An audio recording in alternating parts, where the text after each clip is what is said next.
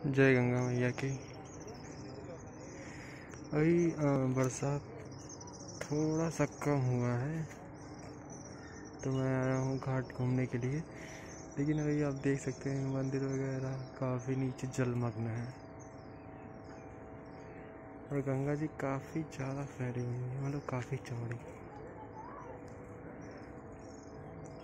सामने बिल्डिंग भी है।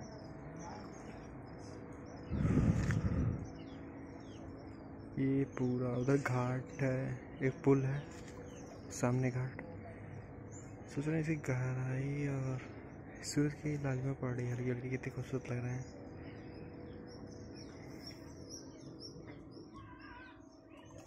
लोग बैठे हैं शांति से।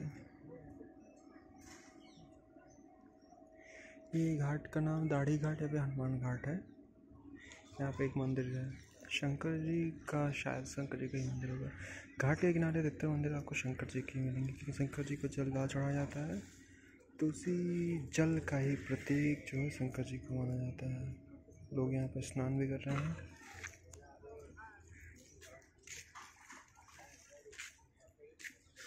सीढ़ियों से चलते हैं नीचे।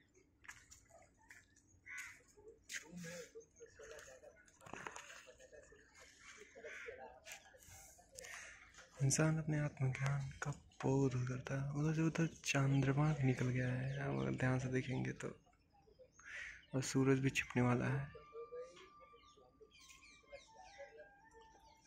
महिला कोई बांसुरी बजा रहा था। चलते हैं नीचे।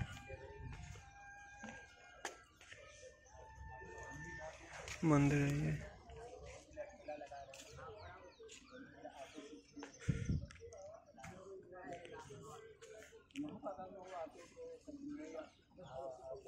सब लोग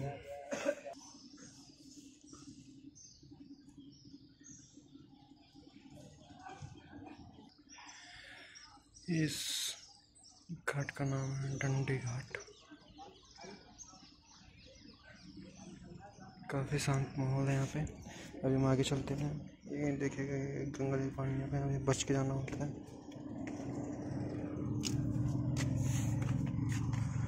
यस हाय डॉग्स घाट का पानी काफ़ी ये बत्तख।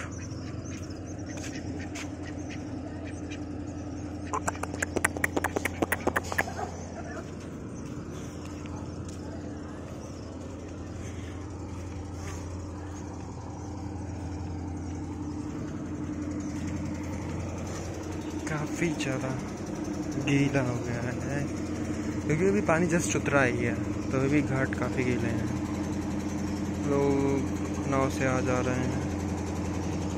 देखेगा कितना नज़दीक से पानी बह रहा है मेरे। काफ़ी नज़दीक से पानी बह रहा है। अभी मैं हरिश्चंद्र घाट की तरफ़ बढ़ रहा हूँ।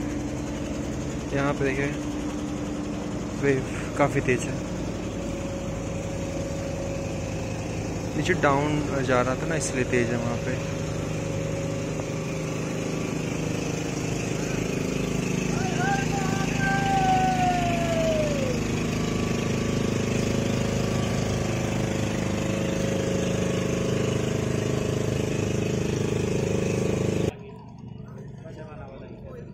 ये घाट, ये इधर भी बन रहा है, घाट अभी ये बन जाएगा।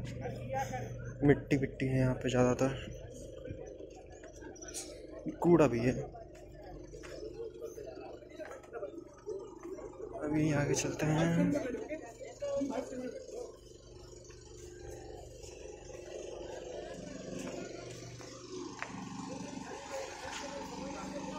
हम्म।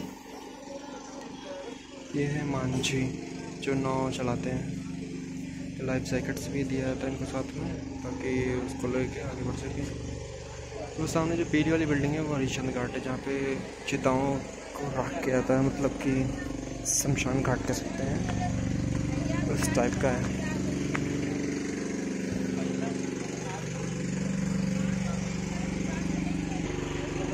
आप वहाँ पे देख रहे होंगे कि क्लास चल रही है।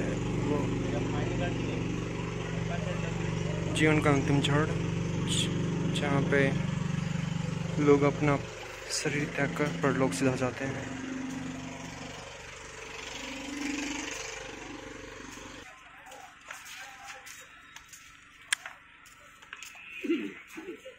अभी तो पानी काफ़ी बढ़ चुका है।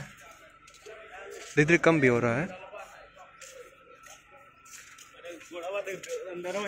लोग ये जो लकड़ियाँ रखी हैं, सब उसी में यूज़ होती हैं, जलाने के काम में आती हैं, सारी लकड़ियाँ।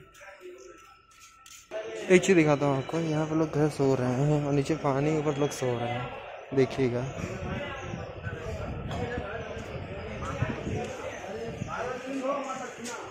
वहाँ पे लोग सो रहे हैं नीचे देखो पानी है।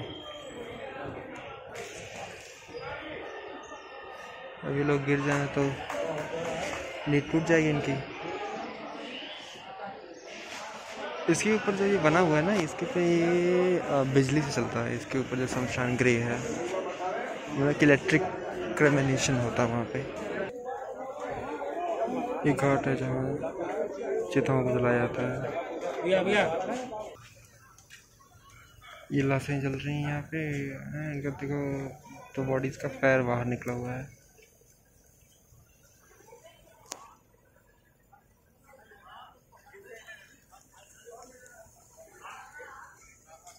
और एक नया डेड बॉडी यहाँ पर है। तो क्या होता है कि जब इंसान मर जाता है तो पहले सबसे पहले इसको यहाँ पे लाते हैं, फिर बॉडी को शायद नहलाया जाता है या फिर नहलाया जाता है। तो फिर इसको इसी चिता पर लिटा दिया जाता है। जो भी, जो बगल में अंकल जी डाल रहे हैं, उनके बेटे होंगे या फिर पति होगा, या फिर पिता, यही लोग वही जलाते हैं।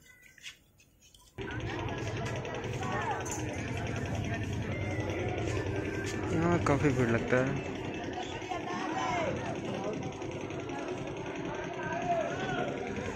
ये कर रहे हैं।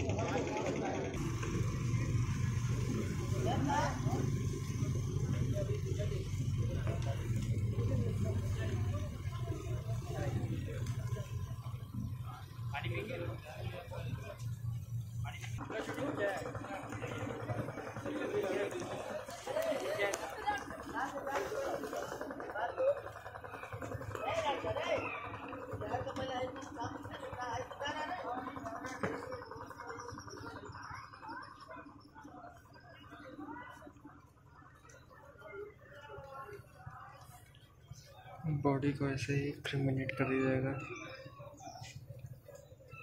उसके बाद खाने लाग लगा दिया जो उनके हाथ में उसी सार लगाएँगे। सर के माध्यम से ही आग लगाया जाता है। नीचे डाल देंगे बस वो आग धीरे पकड़ लेगा।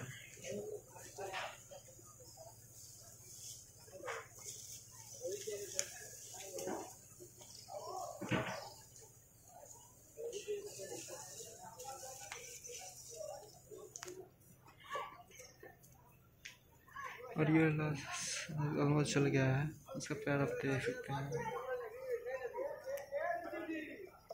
पैर बाहर निकला वो भी जल जाएगा आराम से।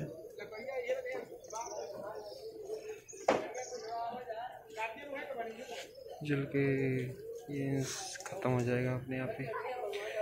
और इंसान पर लोग सजा जाते हैं यहाँ से।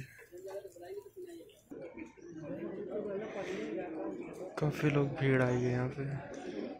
सब लोगों ने के दान संस्कार में आए हैं सम्मिलित होने के लिए।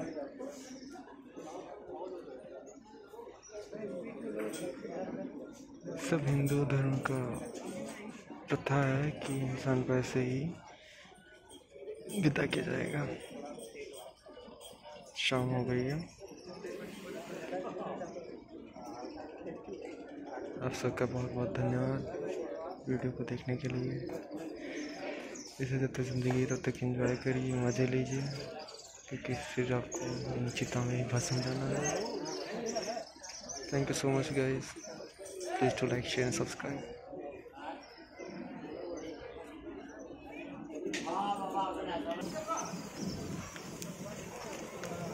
चिता भस